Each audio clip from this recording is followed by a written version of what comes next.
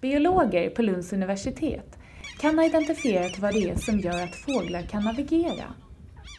I fåglars ögon finns sannolikt ett protein som man tror har betydelse för magnetsinnet. Utan proteinet skulle de förmodligen inte kunna orientera sig efter jordens magnetfält. Mm, regarding the study of migration and animal movement, birds have been one of the most uh, famous models because, well, they are very interesting. They, they travel long distances. They always know where to go. And that's the original source of this, uh, or, uh, for this uh, curiosity.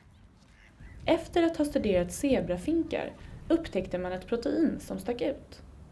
Proteinet heter Kry4. Proteinet produceras konstant och påverkas inte av tiden på dygnet.